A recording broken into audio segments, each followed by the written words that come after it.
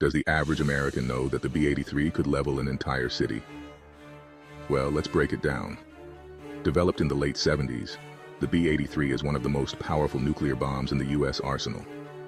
Weighing in at almost 2,400 pounds, it's like dropping a small car from the sky. This beast packs a maximum yield of 1.2 megatons. To put that in perspective, that's 80 times more powerful than the bomb dropped on Hiroshima.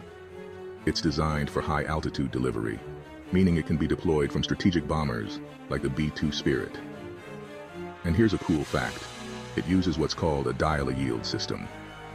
This allows for adjustments in explosive power, making it versatile for various mission needs.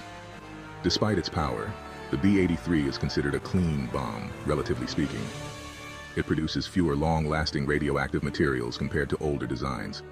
So there you have it. The B-83 nuclear bomb, a massive terrifying symbol of power and precision. Until next time, stay curious and keep learning.